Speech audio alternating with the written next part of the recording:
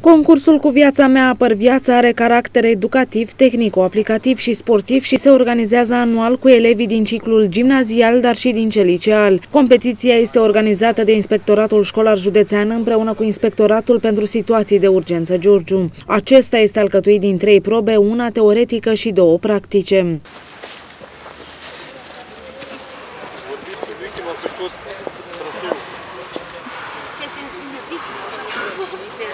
Ce mai carton? Să nu-i dați drumul, dacă nu mai puteți, spuneți. Amândoi odată m-a norocit! A rezistat. A rezistat garbuța. Oh! Atenție, atenție, atenție, ușor, sunteți lângă mine.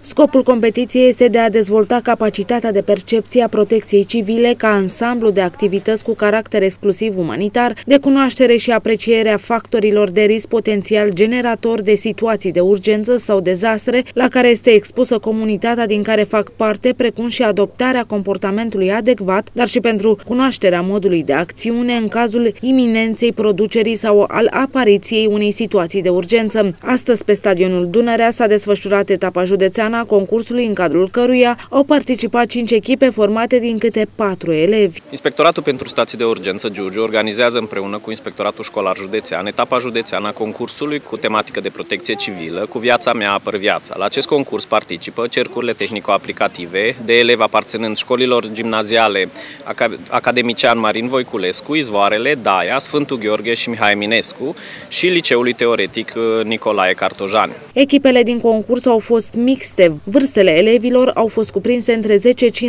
ani pentru clasele 5-8, respectiv 15-18 ani pentru clasele 9-11 împliniți în anul calendaristic desfășurării concursului.